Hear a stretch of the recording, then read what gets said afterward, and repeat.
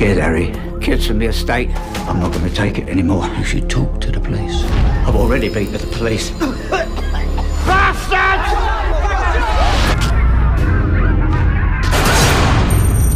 Mr. Harry Brown, police. I'm sorry to have to tell you, but Mr. Leonard Atwell is dead. He was assaulted in the pedestrian walkway. I'm arresting you on suspicion of murder. I don't know nothing. Oh, comment. Have you got something on me? Charge me. If you don't, you've got to let me go, yeah. You came here to tell me that. You killed Leonard. What did you lot do? Nothing. Give me any money, man.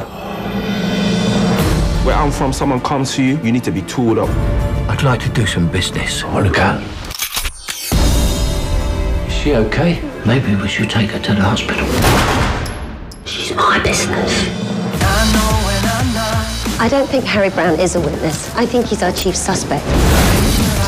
He was with the Royal Marines. He's killed before, sir. Tell me what happened with Leonard. Who's Leonard? He's the man you and your mates murdered.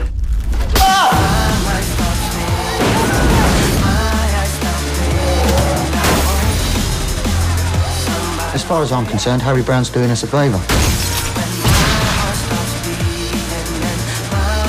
To them out there, it's just entertainment.